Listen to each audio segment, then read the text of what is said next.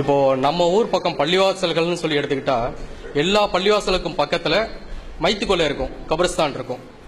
இப்போ அந்த மாதிரி பள்ளிவாசலும் கபரிஸ்தானும் பக்கத்து பக்கத்தில் இருந்தா இந்த பள்ளிவாசலில் தொழுகிறது ஹராம். அந்த தொழுகை ஏற்றுக்கொள்ளப்படாது அப்படின்னு சொல்லிட்டு என்னுடைய பிரதரே பார்த்தீங்கன்னா ஒரு கிலோமீட்டருக்கு அந்தான இருக்கிற பள்ளிவாசலில் போய் தொழுதுட்டு வந்துட்டு இருக்காரு. நாலு வீட்டுக்கும் பக்கத்துலேயே பள்ளிவாசல் இருக்குது. அதை விட்டுட்டு இந்த அதாவது கபரஸ்தான் இருக்கிற ஒரே ரீசனால பள்ளிவாசலை ஒட்டி வைத்துக்கொள்ள இருக்கிறதுனால ஒரு கிலோமீட்டருக்கு அந்தாரா போய் தொழுகிறாரு. இது எந்த விதத்துல உண்மை அப்படிங்கிற ஒரு பக்கமான விஷயங்கள் இருந்தா கொஞ்சம் சொல்லுங்க. அதாவது கபிரிஸ்தான் தான் பெரும்பாலும் நம்முடைய சமூகத்தில் சேர்ந்து தான் இருக்கும் பள்ளியோட சேர்ந்து தான் இருக்கும். அந்த சேர்ந்திருந்தாலும் கூட இது கபிரிஸ்தான் இது பள்ளி வாசல்னு பிரிக்கிற மாதிரி தான் இருக்கும். கபிரிஸ்தான்ல போய் யாரும் தொழுவுறதில்லை. ஒரு பெரிய காம்பவுண்டு சுவர் வேண்டுமானால் பள்ளிவாசலையும் கபிரிஸ்தானையும் இணைக்குமே ஒழிய கபிரிஸ்தானுக்கு உள்ளே போய் யாரும் நின்று தொழ மாட்டோம். கபிரிஸ்தானை பள்ளிவாசலுக்கு பக்கத்துல வைத்துக் கொள்வோம். இது மாதிரி பக்கத்துல வச்சுக்கிறதுக்கு மார்க்கத்துல தடை கிடையாது. நேரடியாகவே கபிரிஸ்தானில் நின்று தொழுவதற்கு தான் தடை இருக்கிறது. கபரில் நீங்கள் நின்று தொழாதீர்கள். அப்படின்னா கபருக்கும் நமக்கு இடையில எந்த பிரிவினையும் இல்லாமல் நேரம் முன்னாடி கபர் இருக்கு. அல்லது பக்கத்துல வலது பக்கத்துல கபர் இருக்கு. இடது பக்கத்துல கபர் இருக்கு. அது கபருக்கு மேலேயே நிக்கிறோம் அது மாதிரியான சூழ்நிலைகள்ல தான் கபருடைய இடத்துல தொடமாட்டேன் என்று தவிர்க்க வேண்டுமே தவிர ஒரு கட்டடம் தனியா இருக்கிறது கட்டடத்துக்கு கீழே அந்த பக்கம் கபரிஸ்தான் இருக்கிறது ரெண்டையும் பிரிக்கக்கூடிய கதவுகள் இருக்கிறது பெரிய சுவர்கள் இருக்கிறது மதில் சுவர்கள் இருக்கிறது என்று சொன்னால் அது மாதிரியான இடத்துல தொழுவது கபரிஸ்தானில் தொழுவதாக ஆகாது. தாராளமாக அந்த இடத்துல தொழலாம் தப்பு கிடையாது.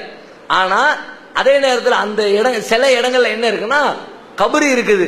ஆனா அந்த கபறுகள்ல பல்வேறு வழிபாடுகளையும் செஞ்சு போடுறாங்க. சில ஊர்கள் எப்படி இருக்குன்னா பள்ளிவாசலோடு சேர்ந்து கபரிஸ்தானு பள்ளிவாசலுடைய கட்டடத்துக்குள்ளேயே அந்த அவுளியா தர்கா இந்த நாதா தர்கான்னு சொல்லிவிட்டு கபரை கெட்டி வச்சு விடுறாங்க. கெட்டி வச்சு அங்கே என்ன ஊத்துறது அங்கே துவா செய்யறது பாத்தியா ஓதுறது அது மாதிரியான காரியங்களை அரங்கேற்றிடுறாங்க அப்படி எங்க ஏதாவது நடந்துச்சுன்னா அந்த இடத்துல நாம தொழ முடியாது. குரான்ல அல்லாவே சொல்லி காட்டுங்கன்னா மார்க்கத்துக்கு முரணான காரியங்கள் நடக்கக்கூடிய இடத்துல நீங்கள் அமராதீர்கள்.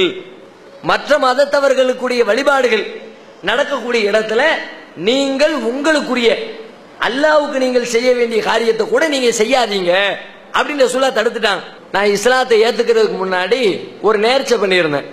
என்ன நேர்ச்சைன்னா புவானான்னு ஒரு இடத்துல போய் அல்லாவுக்காக அறுத்து பலியிட்டு மக்களுக்கு ஏழை மக்களுக்கு தர்மம் செய்யணும்னு நான் நேர்ச்சை பண்ணியிருந்தேன்.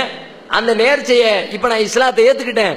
இப்ப நான் நிறைவேற்றலாமா அப்படின்னு கேட்கிறார் அப்ப ரசூலா கேக்குறாங்க நீ நேர்ச்சை புவானான்னு ஒரு குறிப்பிட்ட இடத்துல நேர்ச்சை பண்ணியிருக்கிறிய அந்த இடத்துல அறியாமை காலத்து வழிபாடுகள் ஏதாவது நடக்கிறதா?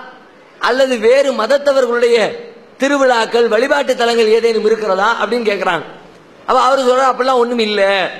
அப்ப தாராளமா உன் நேர்ச்சியை நிறைவேற்று அப்படிங்கிறாங்க. அல்லாவுக்கா வேண்டி செஞ்ச நேர்ச்சியை நிறைவேற்றுறதுக்கு ரசூலா என்ன பார்த்தாங்க? வேறு மத கலாச்சாரங்கள் எதுவும் நடக்கிறதா? வேறு வழிபாடுகள் எதுவும் நடக்கிறதா? அப்படின்னு பார்த்தாங்க. அது மாதிரி வேறு வழிபாடு நடந்தால் அல்லாவுக்கு செய்யற காரியத்தை கூட நாம செய்யக்கூடாது. அந்த அளவுகோலின்படி பள்ளிவாசல்ல போய் அல்லாஹ் தொலைத்தான் போறோம். அந்த பள்ளிவாசல் கட்டடத்துக்குள்ள தருகாவை கட்டி வச்சு எண்ணெய் ஊத்தி திரி வச்சு விளக்கு பத்த வச்சு வேறு விதமான வழிபாடுகள் நடந்து கொண்டிருந்தால் அது இஸ்லாத்திற்கு எதிரான வழிபாடு. அந்த வழிபாடு நடக்கிற இடத்துல போய் அல்லாவுக்கு செய்யக்கூடிய வழிபாட்டை நம்ம செய்யக்கூடாது. அந்த அர்த்தம் அது மாதிரியான இடங்களாக இருந்தால் அந்த பள்ளிவாசலை விட்டுட்டு வேற இடத்துக்கு போயிட வேண்டியதுதான். அப்படி இல்ல. பள்ளிவாசலுடைய ஓரத்தில் கபிரிஸ்தான் மட்டும்தான் இருக்கிறது என்று சொன்னால் அதனால நம்முடைய தொழுகை எந்த பாதிப்பையும் ஏற்படுத்தாது. தாராளமா அந்த பள்ளிவாசல்ல நாம தொழுகை நடத்தலாம்.